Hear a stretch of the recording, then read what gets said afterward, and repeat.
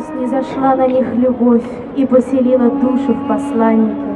Любовь зародила новую жизнь, и с тех пор он и она живут и парят в небе,